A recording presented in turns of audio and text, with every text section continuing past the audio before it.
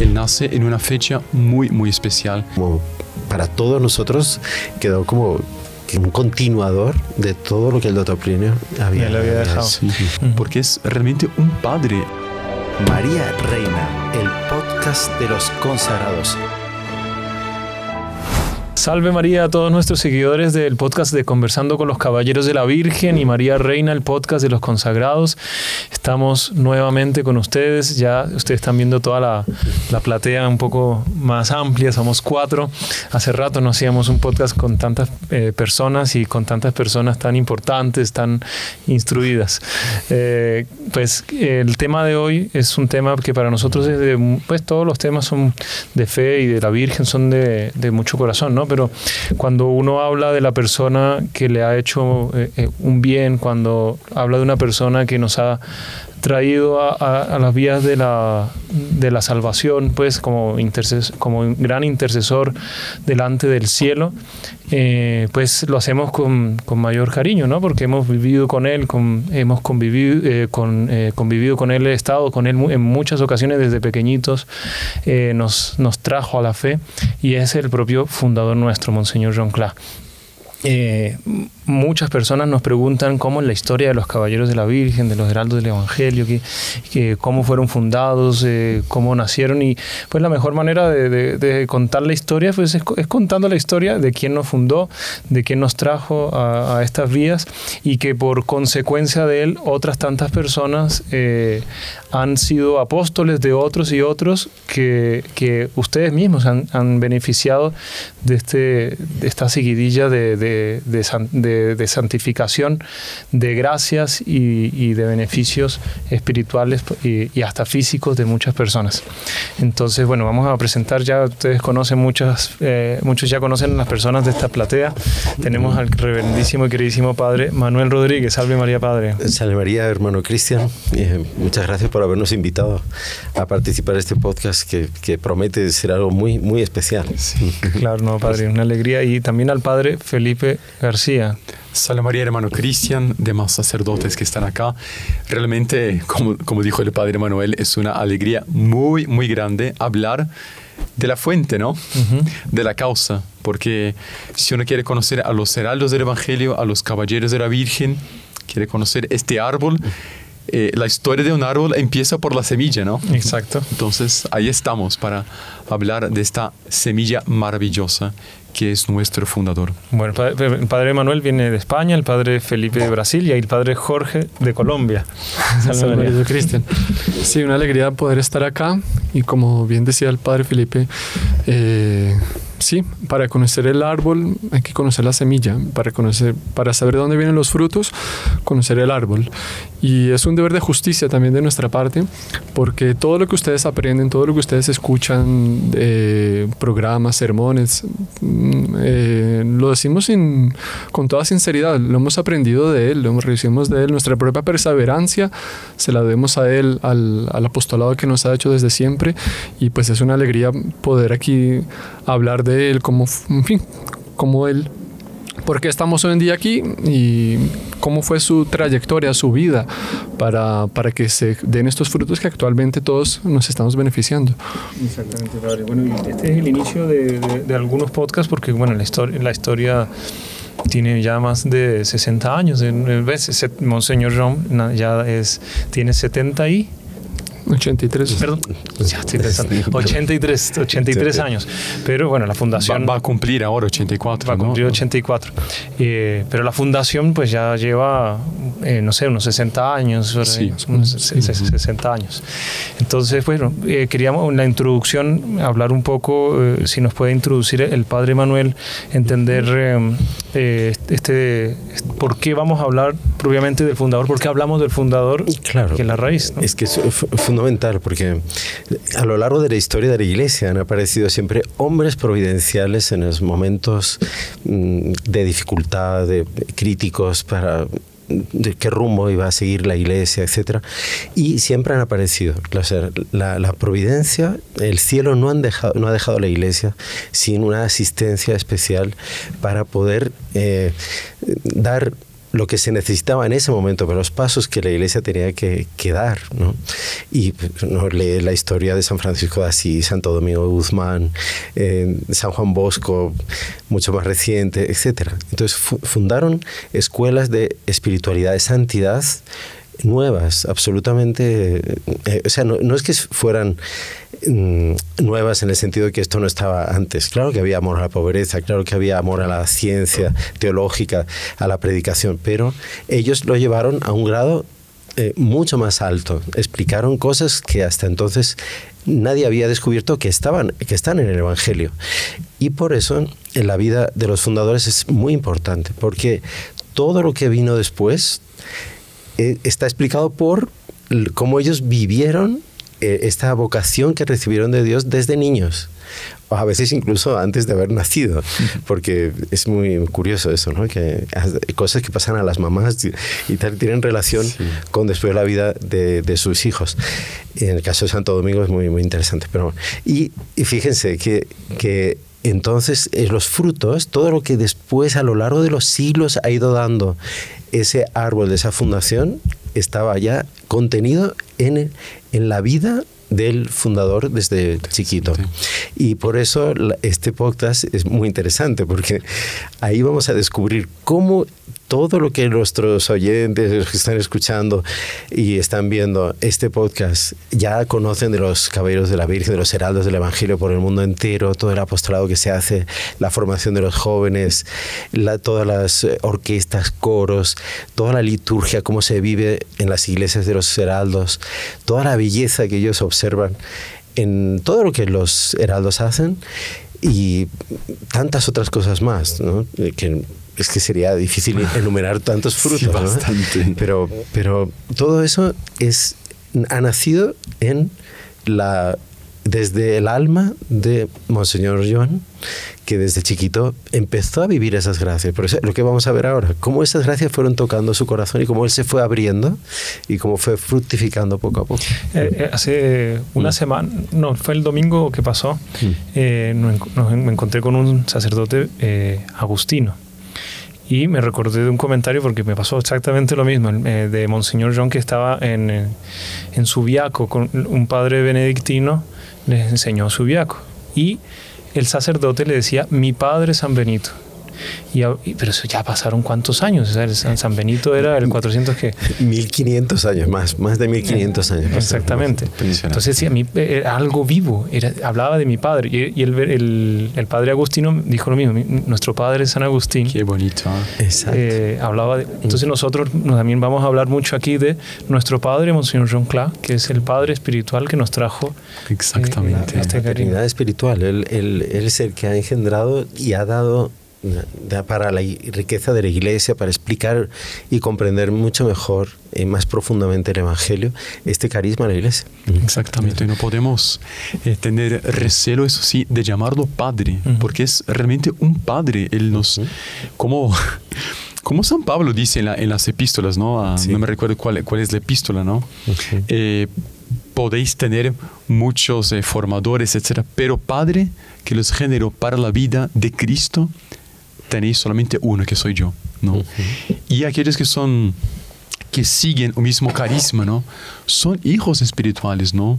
Llamamos de padre, eh, incluso es muy bonito, incluso también la, la, eh, la, rama femenina, ¿no? Las niñas le llaman de papito, es un padre, es un padre, una manera cariñosa de, de llamarle de padre, y lo es, de hecho, ¿no? Lo es, no podemos tener miedo de usar esta palabra, de utilizar este término padre, porque lo es, ¿no? Tal cual. Exactamente.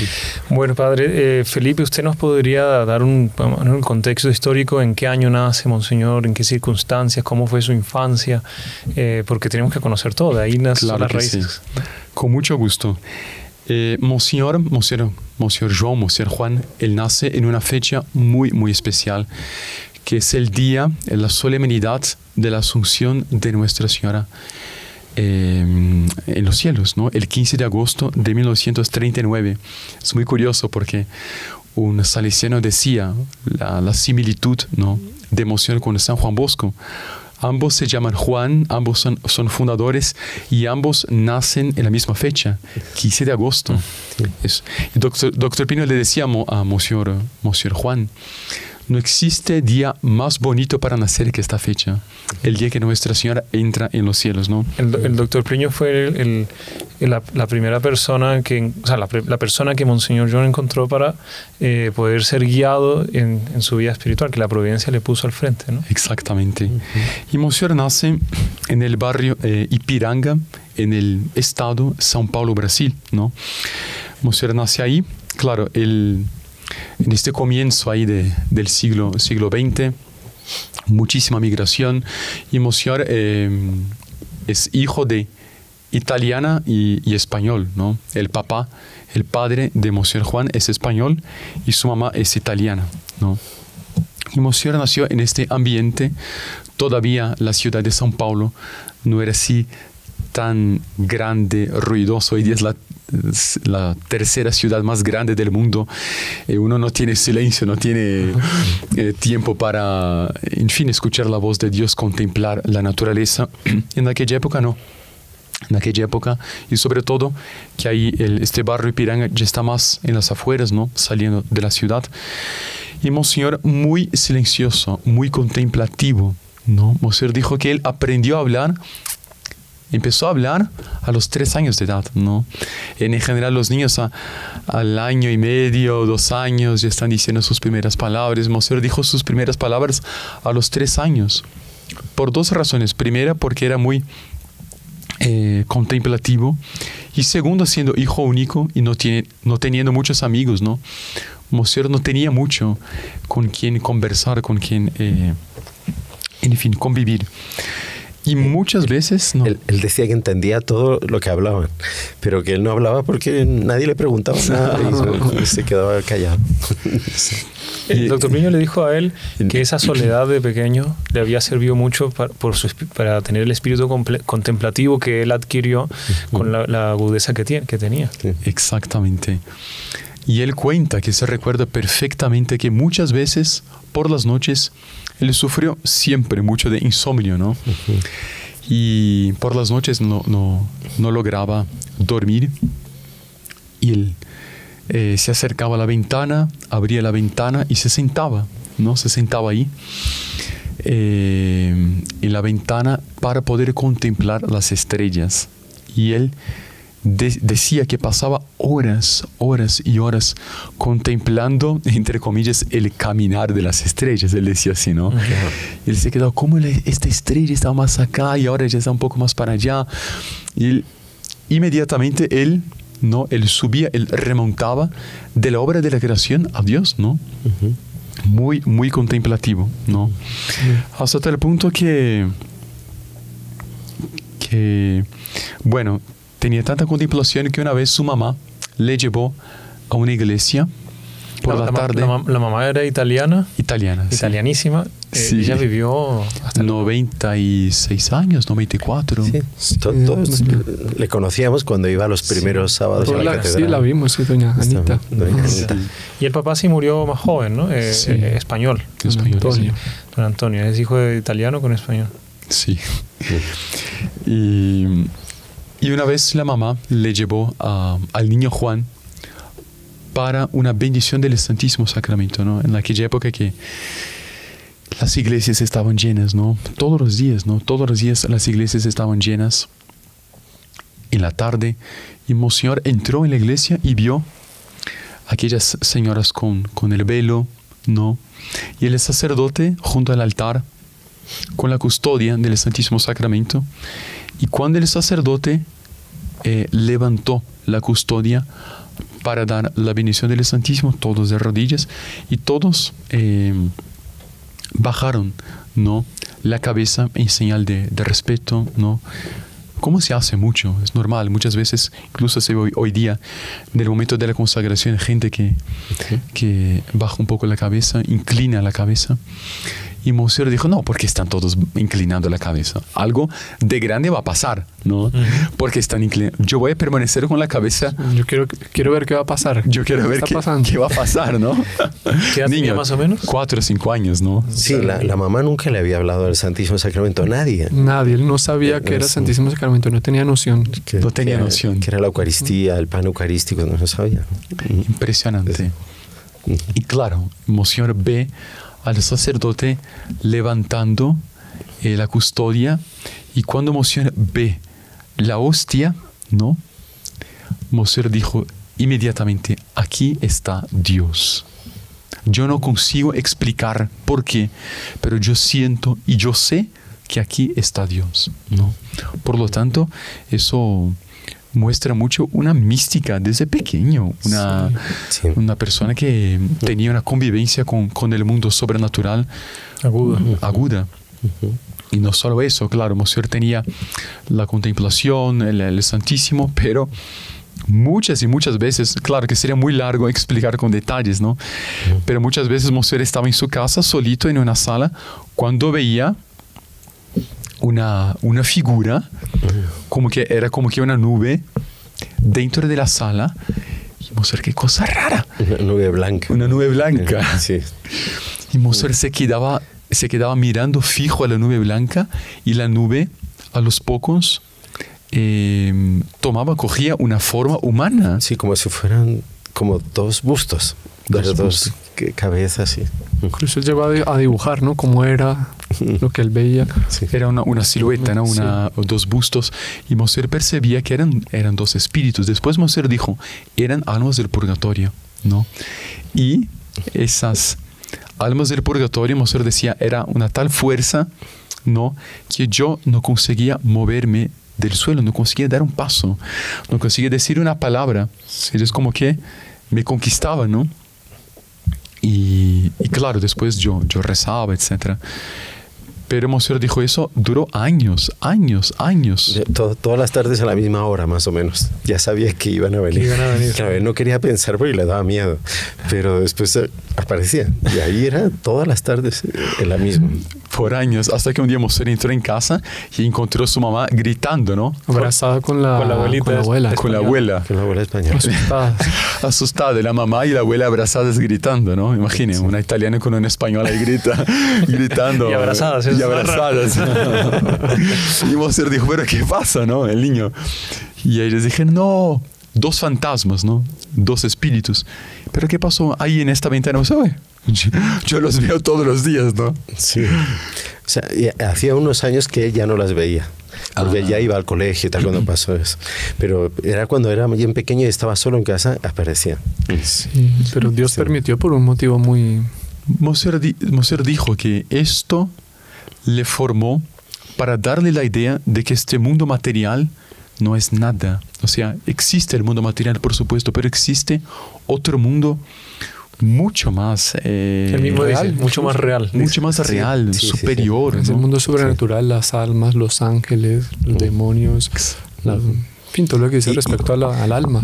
Y, y y él tenía esa percepción que además la providencia ayudó con esos hechos así eh, más eh, especiales.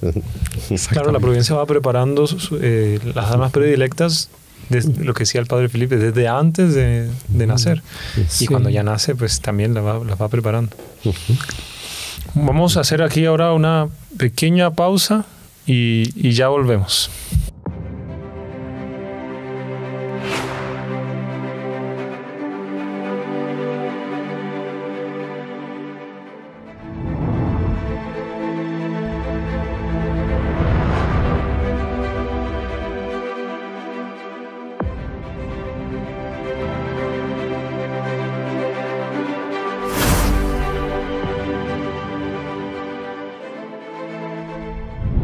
Salve María, soy el padre Felipe García de los Heraldos del Evangelio. No hubo santo en la historia de la Iglesia que no haya sido devoto de la Virgen María. La Iglesia nació y creció bajo la protección y el aliento de ella. Y es por eso que nosotros, si queremos llegar a nuestro Señor Jesucristo, debemos llegar por intermedio de ella. Esplendores de María, ya en castellano. En este programa vamos a hablar sobre Nuestra Señora, sobre la Virgen María, sus advocaciones, sus milagros, sus apariciones aprobadas por la Santa Iglesia y también sobre las verdades que la Santa Iglesia nos enseña sobre ella. No se lo pierdan. Dos sábados al mes en este canal les estaremos esperando. Salve María.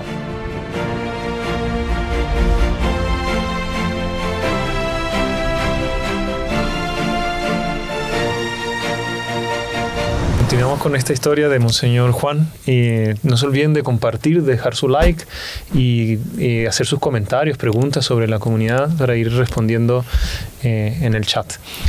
Eh, padres, a ver si eh, de- ya quedamos más o menos en la infancia de Monseñor Juan, Sí. cómo fue la, la- su- la inocencia, su relación sobrenatural, su relación con el Santísimo Sacramento, su primer contacto. Eh, pero bueno, eh, ahora eh, él fue creciendo y se fue ya relacionando con, con la gente a su alrededor, cómo era su ambiente, ¿no? No sé si alguno podría contar eh, cómo era su ambiente familiar. Sí, Jorge él, em, bueno, como el padre Felipe bien recordó, él pues tuvo una infancia aislada y pues los motivos que fueron dichos y también influenció mucho que él, eh, bueno, no tenía como familiares de su misma edad, eran todos mayores, los primos, tíos, pero em, bueno, desde el inicio de la vida de él, de Monseñor, eh, como mm, señal, digamos, de una gran vocación y, y de ser un alma muy, muy amada por Dios, desde un inicio tuvo una vida pues muy dura, muy difícil, de sufrimientos, eh, de batallas. Bueno, él, sabemos que él nació en, en una condición humilde. Sus padres no, no tenían pues grandes posesiones. Me acuerdo que él com- comentaba cómo él jugaba de niño, veía a otros niños con, con carros de remoto, en fin, de motor. Y él cogía la, la caja de zapatos de una caja de cartón y ese era su avión, era su carro, era su tren, era su todo. Era, él decía, era Feliz, feliz con eso. feliz. Amarraba una, una cuerda en la cajita de, en la caja ¿De de, cartón y con eso jugaba, era feliz. Pero bueno, él eh, sufrió mucho porque sus, sus primos, sus tíos, pues lo maltrataban mucho. Eh, él cuenta, por ejemplo, uno de los tíos de los primos, que le llevaba muchos años en edad. Y una vez prendió un papel con fuego y se le acercó, se le acercó, se le acercó y me vio que lo iba a quemar de verdad. Y realmente lo iba a quemar. Él salió corriendo y dijo, pero ¿por qué es tan malo? ¿Qué hice yo? ¿Por qué me va a quemar? Porque sí. Una vez lo cogieron los tíos también y lo iban a meter en, en alberca con el agua fría a mojarlo porque sí. Porque sí. Y él después explicitó, y claro, él no era, mejor dicho, Monseñor era inocente.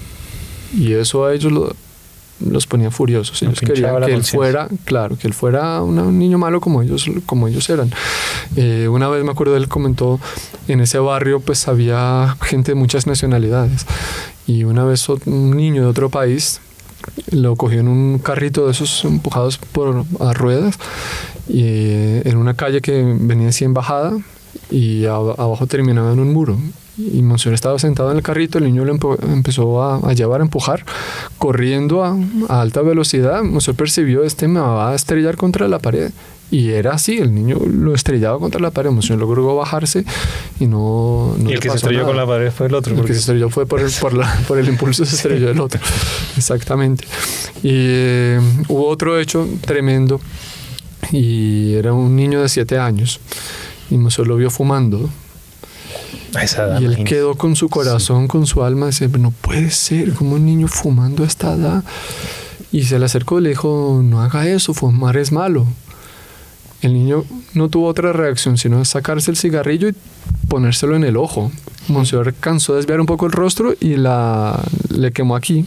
Casi, casi coge el, el ojo. Incluso hay una fotografía. Vamos a poner la, la- la foto de Monseñor Juan en el. Se ve el- vamos a poner el- otras también de chiquito, de, gra- de Sí. jovencito, en el, andando a caballo con su perrito. Eh, y, la, y esta del ojo que ustedes van a ver que tiene es una foto que se sacó en el colegio que tenía el mapa mundi creo que atrás. Y pero aparecía con la cicatriz de, Sí. en la quemadura Y ya cuando... No, que es, es impresionante porque el, el choque de, él, de, la inocencia de él, que admirativo, que contemplaba todas las estrellas, que veía todas las cosas buenas, se admiraba, daba gracias a Dios, todo, el Santísimo Sacramento. Él tiene el choque de lo contrario, que es el, el, el mal que aparece de una manera agresiva en, en, la vida de él, a través de, los, de estos primos, tíos, y, y de este caso del colegio, de, uh -huh. del cigarro. Sí, que le, que le, como el párpado, ¿no? Por poquito no le quema el ojo, es una cosa impresionante. Dice, pero ¿por qué son malos? Yo no he hecho nada, ¿por qué tienen que hacer eso? Uh -huh. Y tenía discusiones con ellos, entonces ellos le decían que el infierno no existe, que Dios no existe, y decía que todo el mundo en, el, en esta tierra es interesado. Decía, John, no sea, no sea ingenuo, todo el mundo es interesado. No piense que le hacen un favor porque le quieren ayudar, después se lo cobran, todo el mundo es interesado. Y él en su inocencia decía, no puede ser, no puede ser que todo el mundo sea malo, no puede ser que, que todo el mundo tenga que ser así. Bonito que él decía, cuando él contemplaba las estrellas, él veía que todas se armonizaban muy bien y había mucha paz, había mucha serenidad, mucha inocencia, mucho orden. Dice, yo quisiera traer ese orden del cielo, ponerlo aquí en la tierra. Y, simbólico, ¿no? Muy, muy simbólico, simbólico de, de, su vocación. ¿no? Exactamente. Y entonces es ese hecho que, pues, eh, tal vez ya han escuchado alguna vez, pero él todos los días rezaba entonces decía que se ponía, se arrodillaba en la propia cama a los pies y rezaba 10, 20, 30 o hasta más Ave Marías, pidiendo conocer un alma que fuera desinteresada. Decía, no puede ser que todo el mundo sea malo en este mundo. Tiene que haber alguien que sea inocente, alguien que sea puro, alguien que sea recto, alguien que quiera hacer el bien a los demás desinteresadamente. Tiene que haber un alma. Y decía, yo sentía que había un alma y que yo estaba hecho para ella, para servirla. Y rezaba, rezaba, rezaba. Decía que lloraba incluso para conocer esa alma porque el sufrimiento era muy grande viendo pues la maldad. Eh, y en repetidas ocasiones él dice que cuando rezaba le aparecía la silueta de un varón, de un hombre. Y él sentía tranquilidad, paz de alma y como que algo le decía en su interior, mire, eh, esa es la persona. Es un hombre diferente, existe. es un hombre que es santo, es un hombre que exactamente existe, que es desinteresado. Y él decía, ese, el mundo tiene que cambiar. Eh, y bueno, así fue creciendo su infancia en el colegio también. En fin, dificultades con los sí. en fin, la, la, impureza, etcétera, etcétera. Claro. Y, y es curioso que, que esa, esas manifestaciones por la noche, que le aparecía aquella figura, que él no veía bien el rostro, ¿no? no pero la figura la veía perfectamente y veía que era un hombre que estaba vestido con un traje religioso, que era una, una especie de túnica, llegaba hasta los pies y una capa Dice que era un hombre de color corpulento. claro. Eso lo veía bien y era grande, era corpulento, sí. Pero no veía en la cara no veía.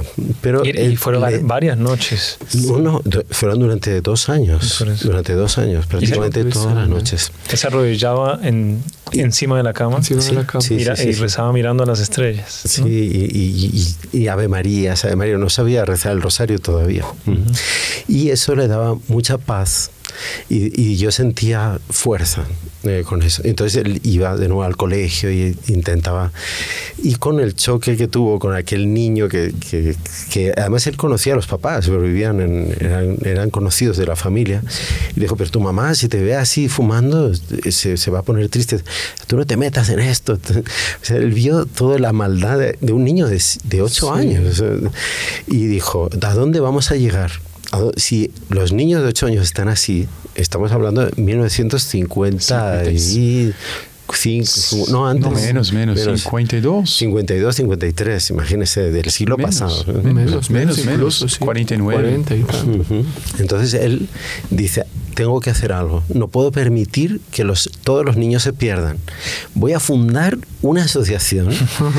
Voy a buscar otros niños que quieran ser buenos también.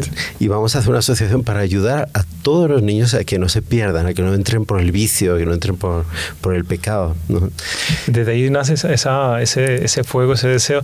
De hecho, San Agustín da una, una explicación porque la gente pregunta, si Dios ya conoce todo lo que necesitamos, ¿por qué nosotros tenemos que rezar para pedirlo? Y él decía justamente para poder crecer en el fervor y en el deseo de que las cosas se den y la persona tener sus propios méritos. ¿no? Entonces, en el caso de Monseñor Juan, desde pequeño pasó por todas esas dificultades duras, ya ella comienza a surgir ese deseo de fundar una asociación para cambiar el mundo. Exactamente, entonces era ya el Espíritu Santo eh, actuando en el alma de él, impulsándole a hacer algo extraordinario ¿no? para un niño. Y él iba buscando y tal, pero no, realmente no encontraba, estaba solo. Y él, mientras tanto, pues iba a era muy buen alumno, era el mejor alumno de la clase y eh, por una inteligencia eh, súper despierta, etc. Y bueno, eh, a las tantas, un profesor en una de las clases le dice, habla a las, y pregunta, bueno, todo el mundo aquí cree en el infierno, ¿no? ¿Hay alguien que no crea en el infierno? Sí, era un profesor de, profesor de religión y también de, de historia, ¿no? Exactamente. Y ahí fueron como unos cinco o seis que levantaron la mano y que decían que ellos no, no creían en el infierno. Entonces el profesor les dijo, bueno, entonces al final de la clase me esperan en el pasillo y yo les voy a dar la prueba de que existe el infierno.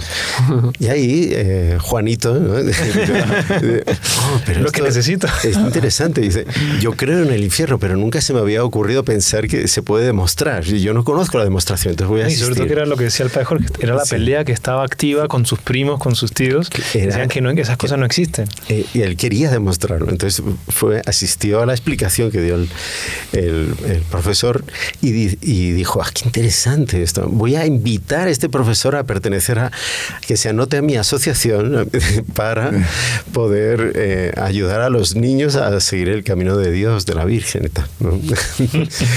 y no sé si fue en esa época. Ahí fue que lo invitó, ahí, ah. eh, después de la clase les demostró con la lógica, sí. Eh, ahí da el argumento de que, bueno, si yo llega un alumno y le pega bueno, a, un profesor, tiene un castigo. Si le pega a un director, a la mamá, y si le llega, le pega al presidente, bueno, si le pega al papa.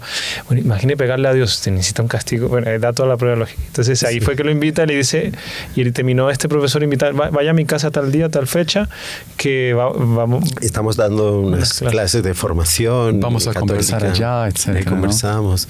Y porque imagínese, ¿no? el profesor debe pensar, bueno, este chiquillo que me está diciendo invitándose. está invitando a mí a una asociación de él. y el profesor lo, lo invitó a él a, a, formarse mejor y tal. Y él fue, él fue allí. Fue, mm. fue en la casa del profesor y el profesor empezó a darle clases sobre la historia de la iglesia, sobre todo mm. toda la, la, época de la revolución protestante, Lutero, etc. Y Mosén empezó a ver ¿no? cómo Claro, la iglesia es santa, pero como muchas veces existe el ataque a la Santa Iglesia dentro de la Santa Iglesia. Y Mosero dijo, no, no, no, eso es... Eh, eso me está ayudando a crecer en el amor a la Santa Iglesia, ¿no? Y Mosero se quedó tan impresionado con esta clase acerca de la, de la revolución protestante, de la santidad de la Iglesia, que Mosero dijo, basta, voy a convertirme. Imagínense emocionar como, como, si él fuera un gran pecador, ¿no? Sí. Como si, si, él hubiera sido un gran pecador. Pero efectivamente al día siguiente Monseñor se despertó muy temprano y Monseñor eh, hizo una confesión general. Hizo una confesión general. No, padre. Después ayudó a, um, ayudó la misa del sacerdote. De, de Monaguillo. de Monaguillo el, el, el, padre lo vio así tan tomado de la gracia que le pidió que le ayudase en otras dos misas que tenía, que eran de difuntos, no sé qué, a continuación, y asistió a tres misas ese día. ¿no? Y, y, él dijo, no, dice, yo a partir de, de ese día ya aprendí a rezar el rosario, que no sabía. Dice, aprendí a rezar el rosario, entonces desde ese día lo recé cotidianamente y comulgaba todos los días. Antes de ir al colegio, yo me iba a la parroquia y asistía a misa como 15, 16 años. 15 años. Vamos a poner una foto aquí de, mm. él haciendo, la primera comunión que existe. Sí, claro, sí, sí. Pero, eh, o sea, es muy interesante porque la conversión se refiere, claro, él decía esa palabra, yo tengo que convertirme. Él ya era católico, ya, de todo, pero tengo que dar un paso más en mi entrega a la iglesia. Yo, yo tengo que tomar en serio mi fe porque es la única fe verdadera. es la de nuestro Señor Jesucristo, es la que la iglesia, Santa Iglesia Católica Apostólica Romana. Y así ha sido la vida de Monseñor hasta hoy en día. Usted siempre lo ve a él actualmente dando pasos, dando de sí y siempre alegre porque tiene algunas dificultades de salud, pero uno, cuando está al lado de él, uno queda el enfermo y él queda el sano, porque es siempre irradiando alegría. Transmitiendo entusiasmo, alegría, deseo de servir, más, A, Dios, a la iglesia, a Nuestra Señora. Exacto, padre. y, bueno, después de, claro, Monsieur hizo eh, amistad con este profesor y el profesor le dijo, bueno, Juan, yo te invito para la novena de Nuestra Señora del Carmen en la Basílica ¿no? del Carmen, de los carmelitas ahí, una basílica muy bonita, ¿no? cuyos monjes que estaban ahí en esta época eran monjes holandeses, ¿no? una basílica grande, etc. Y Monseñor dijo, bueno, está ahí, está bien, vamos, vamos, vamos a la, a la novena. Y el profesor le dijo, es que me gustaría mostrar, mostrarte, ¿no? El eh, mi, profesor, mi profesor, ¿no? Y Moser estuvo el, día 7 de julio de 1956. ¿no? Y Moser recuerda con detalles, ¿no? Llegó en la, en la basílica una hora antes y estaban los monjes y todo el coro lleno de monjes. Basílica de Nuestra Señora del Carmen, ¿no? Nuestra Señora del Carmen. ¿En qué zona queda la, Basílica de Nuestra Señora del Carmen de San Pablo? Está cerca del centro, no está tan, tan lejos del centro. Y ahí los monjes con los violines, afinando, con el, afinando eh, ensayando las voces, ¿no? Y mostrar aquel ambiente. Él se sentó en, la parte, en las últimas bancas de la iglesia, ¿no? es verdad. Del centro para atrás. Del centro para atrás. Del centro para atrás, claro. Y él vio el movimiento, ¿no? Y esperó. Y Monseñor se recuerda cuando llegó a las 7 de la noche, ¿no? Sí, no era, era 7 de la noche. y Monseñor se recuerda que empezaron a tocar las campanas, ¿no? Pero campanas grandes, bonitas. Monseñor incluso imitaba, ¿no? Tum, tum, pum, tum, tum, pum. Muchas veces aquel sonido de las campanas le marcó y el órgano empezó a tocar, el coro, los violines, la orquesta. Cantando el, Flos Carmeli. Flos Carmeli. ese es un punto importante para, el, eh, para el futuro, o sea, para el, podcast que vamos a hacer de la ordenación sacerdotal también y las campanas. Sí, es el himno de los carmelitas. Bueno, hablando de campanas. campanas. y, y cuando Monsieur ve eh, se gira hasta el fondo de la iglesia. Empezó la ceremonia, ¿no? Entraron los padres, los monjes. Monsieur decía, esto es el cielo. Es el cielo. Incienso. y por último, ¿no? Los, los terciarios. Y Monsieur vio que en el grupo de los terciarios los eh, terciarios, a lo mejor alguien no sabe, pero son, son laicos que pertenecen también a la congregación, eh, en este caso carmelitas.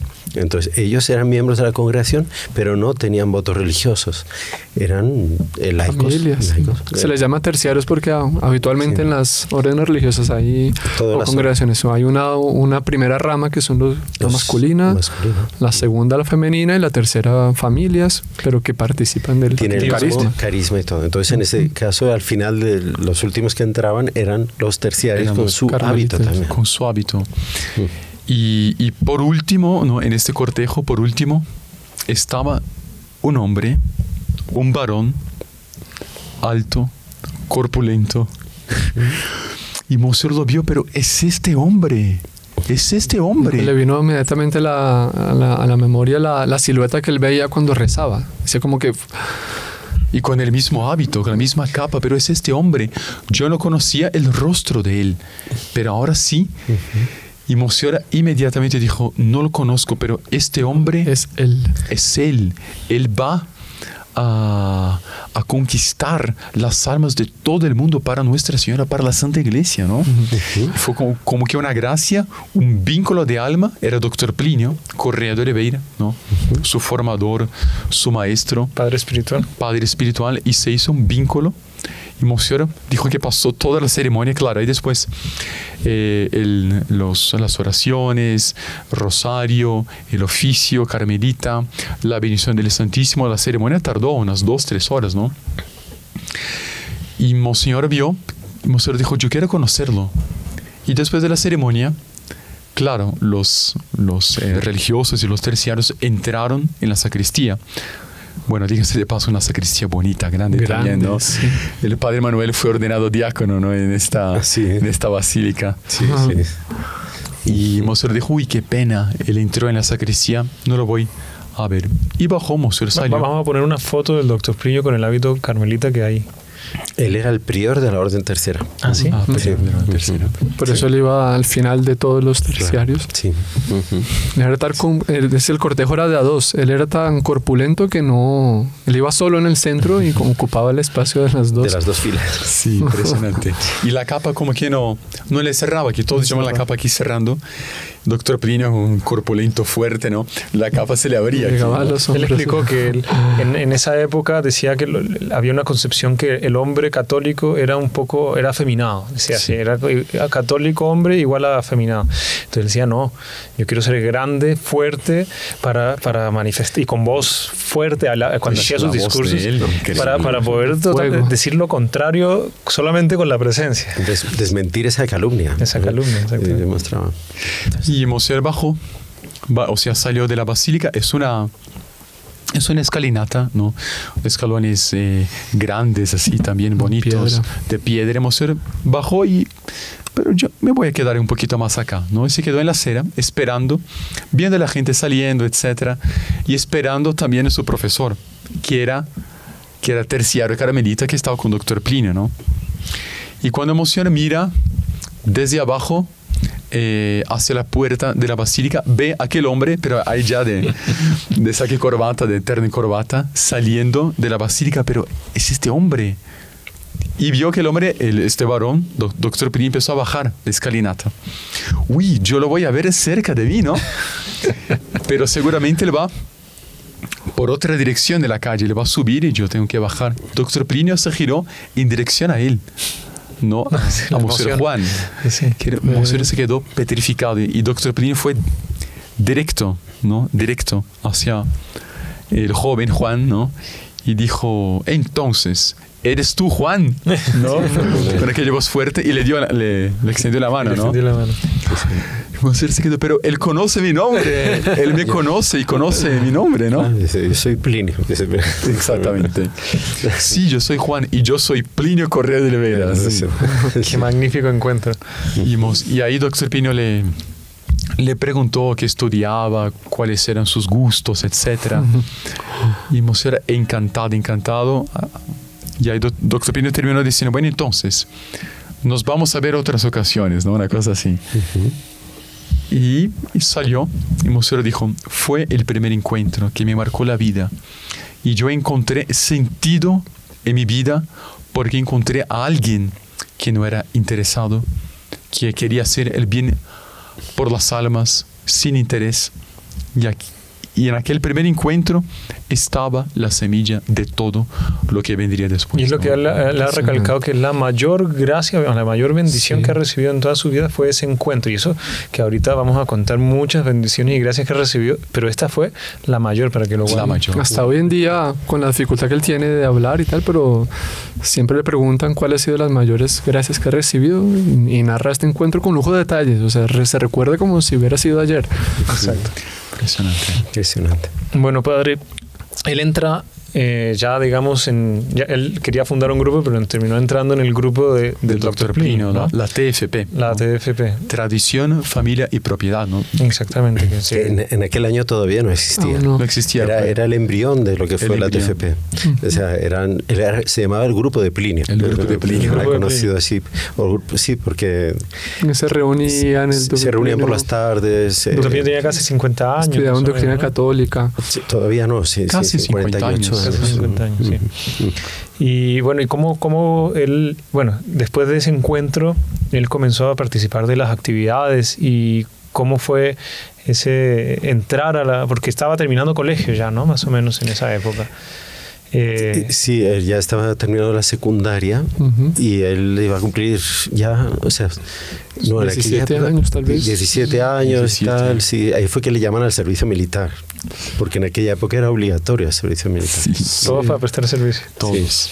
Y, bueno, y que ahí debe haber varias anécdotas. De, del Sí, servicio yo militar. creo que ese fue otro capítulo eh, de sufrimiento para él en su vida, porque él, claro, él ya estaba de lleno en la, en, en la práctica de la religión, la misa diaria, etcétera, etcétera. Rosario. Rosario, las reuniones con el doctor Plinio, y ahora tengo que separarme, ahora tengo que estar allá en el ejército. Y no tenía otra solución sino ir. Él no, no tenía que estar eh, los siete días de la semana en el, en el batallón, pero sí varios días a la, a la semana. Y mm, en turnos incluso por la madrugada y tal.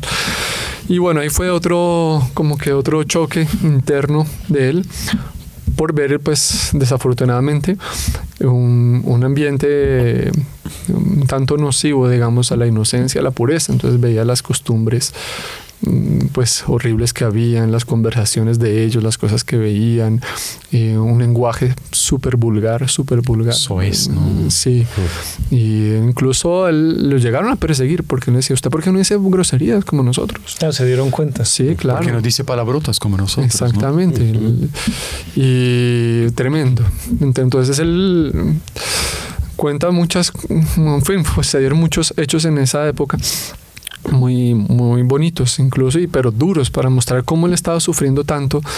El- en fin, una- son cosas un poco desagradables, pero mm, él veía todas la- las en fin, la propensión que desafortunadamente tenían a las cosas impuras. Decían, no, en esto yo no me meto, yo me voy a mantener limpio siempre. Entonces él evitaba eh, las duchas en conjunto, etcétera, etcétera. Dice, mientras todos se iban a almorzar, yo prefería aguantar hambre y me iba a trotar. Hacía mucho ejercicio, mucho ejercicio mientras todos se duchaban. Ellos iban al almuerzo, ahí quedaba la ducha sola, yo entraba. Y, pero él siempre muy perspicaz también. Entonces sabía hacer amistades. Cuando hacían juegos, por ejemplo, él era un líder para comandar. Aquí, usted coge aquí, va a la pelota, este, ta. Y él decía que había unos grandulones fuertes. decía, yo era delgado. Decía, estos sí caen encima mío, pero me da. Entonces él sabía organizar las cosas de tal manera que el balón siempre iba por allá. Nunca le caían encima a ellos que se peguen entre ellos. y era curioso, pero el equipo donde él estaba siempre ganaba. Siempre, siempre. Pero bueno, era duro ese ambiente, eh, la dificultad de, de comulgar todos los días. Entonces dijo, yo no aguanto, tengo que ir donde el, donde aquí el, el superior, no, no recuerdo qué rango tenía. Sí, entonces va donde el comandante y le, le pide una conversación particular. Ese, el, ese cabo, él era ya, ya, ya había recibido el título de cabo, un señor. Entonces, sí, siéntese. Entonces dígame, el ejército seco, dice el Monseñor Juan. Pues dice, mire, señor comandante, yo quería comentarle, decirle, yo soy católico, practicante, y yo tengo la costumbre de comulgar todos los días. Entonces yo quería pedirle permiso que mm, para los días que yo esté de servicio, si usted me, me autoriza para yo salir a la catedral que queda acá cerca y comulgar. Vio que el, el, el comandante se quedó mirándola así mientras él hablaba, movía el esfero y decía, impresionante, Cabo Cla Díaz, usted comulga todos los días. Y ahí, soldado, mandó a llamar a un soldado. Sí. ¿qué va a pasar ahora? El soldado, mande preparar un jeep todos los días a tal hora que lleven al soldado Cla, a la- al cabo Cla, a la catedral, para que comulgue y lo traigan de regreso. Uf, era una consolación en medio del sufrimiento que Dios le daba. Todos los días a la hora llegaba un, un soldado con un jeep y decía, yo iba a la catedral con, pues, estaba prestando servicio, con capacete, con arma, con todo. Entraba, comulgaba y, y volvía fortalecido al, a este campo de batalla espiritual. Perdió ni un solo día de comulgar. Exactamente. No, no. es- Imagine qué, cosa increíble. O sea, iba en el jeep como si fuera el coronel del Sí, regimiento. impresionante. No, decía cuando los turnos con los dedos contaba, rezaba, en fin, no, nunca descuidaba de sus, sus oraciones. Me, me permite un... Sí. eh, interesante porque en este grupo, ¿no? en este batallón, había también otro soldado de la misma edad que Monseñor, que hoy día es heraldo del Evangelio. Heraldo del Evangelio, exactamente. Es heraldo, ¿no? Sí. Que Monseñor lo... Convivieron juntos, Monseñor era- se apoyaban ¿Cómo se mutuamente. nombre, Sí, señor, um, Su hermano señor Amaro, Hay dos. Era uno. Y, y dos. otro. Rodrigo algo, ¿no? Su Rodrigo... En fin, el nombre no, no se me viene ahora. Pero impresionante, ¿no? Sí, sí, sí. Sustentaba. Y él, él- él manten- él mantenía mucho su, también su limpieza. Entonces, en esas clases de deporte, una vez los formaron a todos y él estaba con la ropa desteñida. ¿Por qué? Porque él, cada vez que hacía deporte, La lava- lavaban lavaba ¿no? su ropa para no usar ropa. Los otros usaban así una semana o dos la misma ropa. Y llegó el comandante y le dice, Cabo Díaz, ¿por qué tiene su ropa desteñida, tal cosa? Y él explicó, no, yo cada vez que hago deporte la lavo. Y el otro quedó como medio desconcertado. Dijo, explica, pero no justifica. Y lo mandó a pagar ahí. Fue el, el- el- el único arresto que tuvo. el único- Sí. Soy, soy guerrero, soy guerrero, soy guerrero. Pero porque es muy interesante explicar estas cosas del servicio militar, porque eso tiene una repercusión en lo que somos ahora. Claro, es que... No. ¿Por qué son tan disciplinados? Usan botas, usan no sé qué, el Todo cabello tiene- corto. Muchas veces es una cosa que se, en fin, en, la- en confesiones sucede mucho. Gente que se agobia, está agobiada por situaciones difíciles en su vida y muchas veces se preguntan eh, ¿por qué? Pero yo qué hice? Monseñor no hizo nada malo, no era un castigo que Dios le estaba enviando. Es un, pregúntese, ¿para qué? Dios tenía un designio. Él estaba, Dios estaba permitiendo esa circunstancia dura porque, como el, el padre Manuel menciona, eso iba a Trascender. pero claro, e- era, en fin, hacía parte de la misión de Monseñor.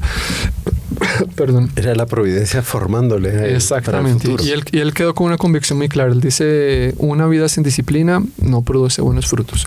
Y menos aún un joven sin disciplina.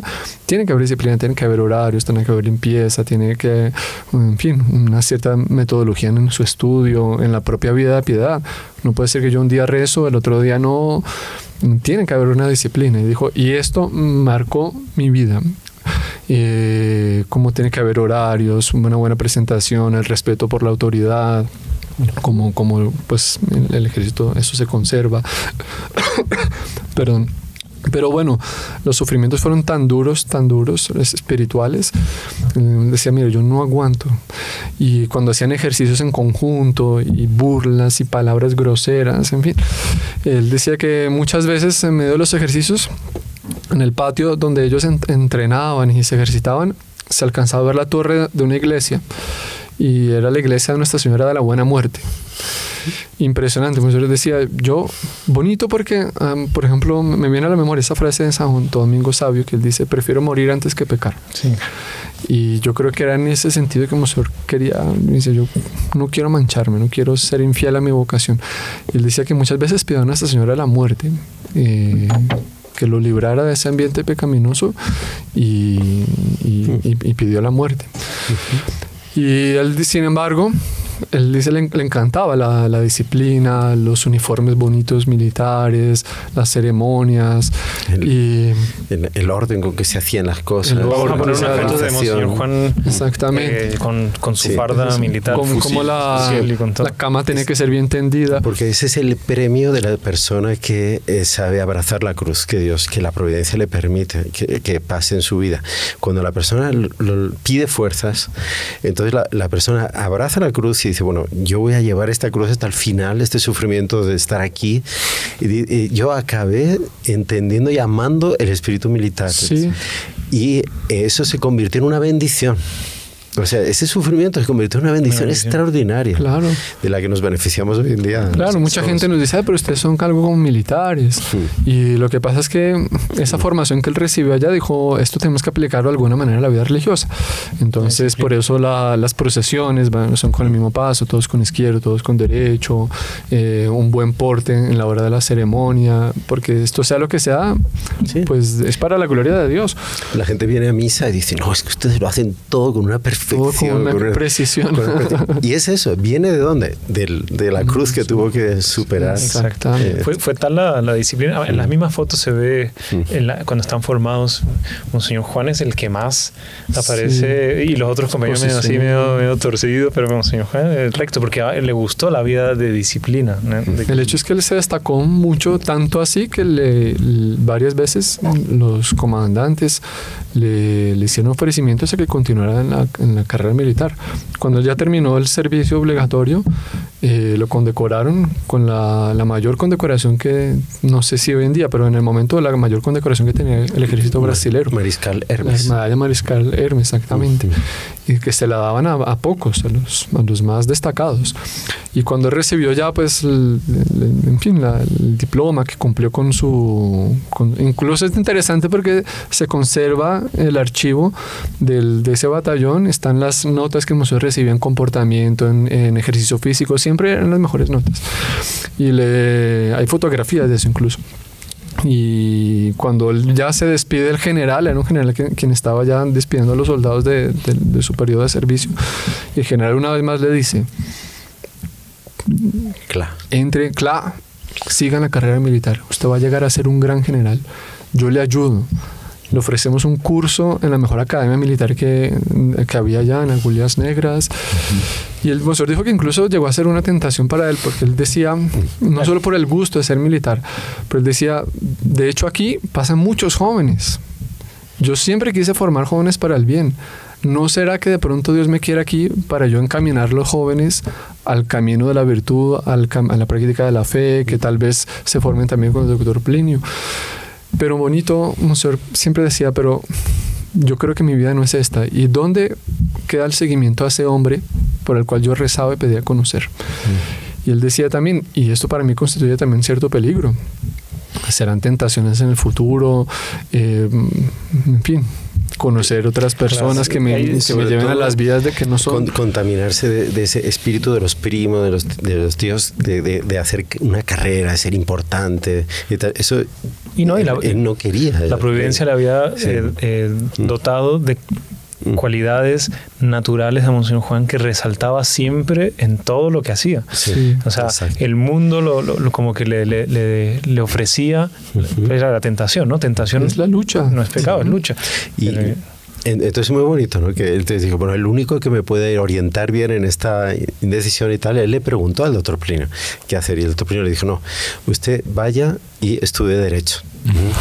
Por una serie de motivos, yo le explicaré después.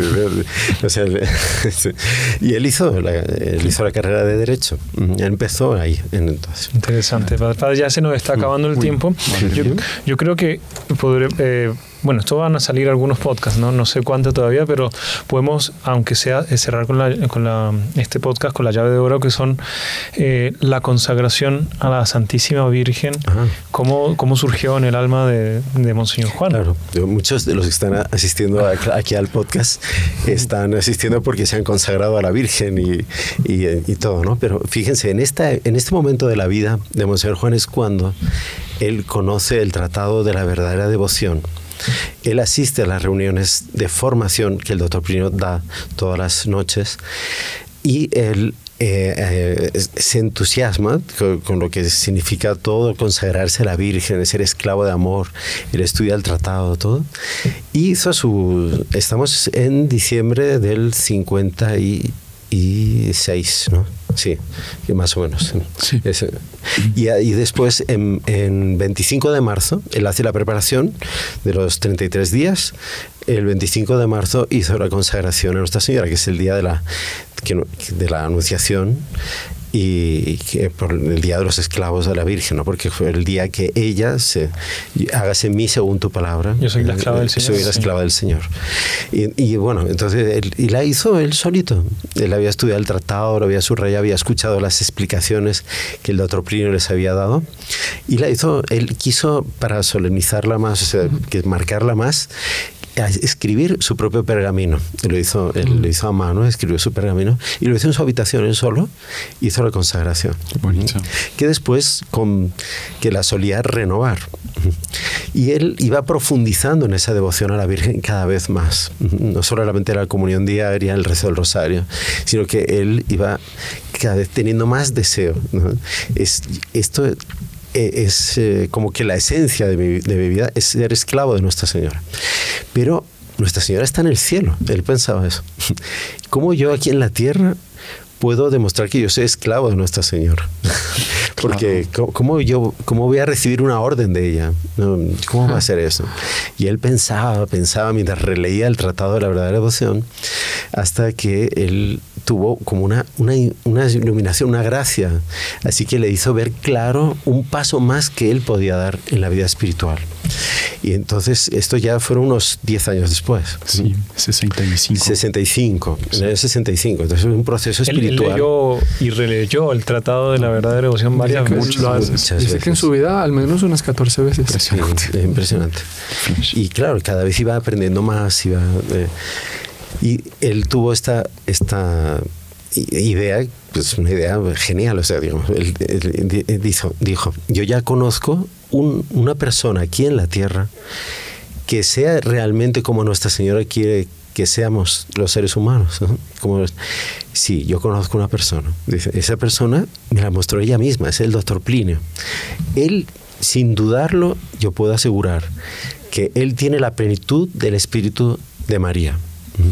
Él es enteramente humilde, él es enteramente puro, él es enteramente desinteresado, él es inter- o sea, él vivía eh, La esclavitud de la Virgen, La esclavitud de la Virgen, eh, la- bueno, el- eso se podría hacer otro podcast.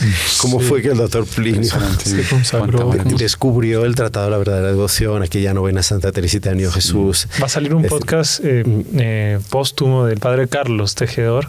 Lo estamos editando él contando la historia del doctor Plinio. Estamos, estamos preparando. Cuando, cuando esté ya lo de- les dejo Uy, en esta descripción. Y ahí cuenta cómo cuenta. fue que el doctor Plinio conoció el Tratado de la Verdadera Devoción. Sí, Interesante. pero podemos hacer otro también con el padre Manuel también. No, pero allí vean ustedes, es algo impresionante. Monseñor Juan dijo, la única manera de yo eh, garantizar que estoy haciendo la voluntad de Nuestra Señora y, sentir que yo soy esclavo de ella, que he entregado todos mis bienes eh, espirituales, materiales, todas mis buenas acciones pasadas, presentes y futuras, que yo estoy haciendo su voluntad, es consagrándome a ella en las manos del doctor Plinio voy a pedirle, voy a escribir. Y entonces él empezó a pensar, ¿cómo le voy a decir esto? Porque va a pensar que estoy Ah, sí. loco. Que, ¿sabes cómo- es que la, la primera vez, eh, la primera, es una primera idea. Usted dice, y es una gracia por, por todo lo que vamos a ver, pero al principio es como raro, por cómo puede ser eso. Ah, sí, Claro, sí. que él venía Y con el- todos los fundamentos de... de- Claro, había era todo un proceso de crecimiento espiritual impresionante. Y era una, una- un impulso, el, el Espíritu Santo estaba actuando en él así, dar un paso más. Y él escribió una carta, dice, con toda simplicidad, y le dije, mire, yo he llegado a esta conclusión. Yo le quiero pedir que usted me acepte como esclavo de amor. O sea, para yo ser esclavo de Jesús y para ser esclavo de María, yo tengo que ser esclavo de usted aquí en la tierra.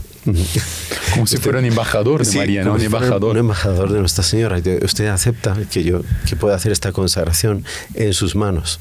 Interesante que, digo, me parece eh, que vale la pena notar como Monsieur tuvo esa is- infancia tan aislada. Él fue siempre muy analítico, Mm. muy observador. Y él observaba muy bien a todas las personas y decía, este medio- es medio raro, esta persona, este tiene algo que no va bien. El profesor este que lo invitó al grupo de Dr. Plinio, Monsieur dijo desde el inicio, dijo, este hombre tiene algo raro. Sí. Pero bueno, cuenta cosas interesantes, pero eh, de hecho esa persona terminó traicionando al Dr. Plinio, persiguiendo al propio Monseñor Juan, en fin. Los hechos siempre confirmaron lo que él analizó. Pero Monseñor siempre analizó muy profundamente al Dr. Plinio. Sí. En lo que el padre Manuel decía, mire, este hombre es íntegro, nunca lo he visto que sea doble, que sea falso, que sea interesado, o sea, notar en él alguna, algo que pecaminoso, decía, no. Él decía, porque es algo serio, Monseñor decía, yo me pongo en las manos de alguien que yo sé que me va a poder conducir al cielo. Y Monseñor no tuvo ninguna duda, le va a pedir.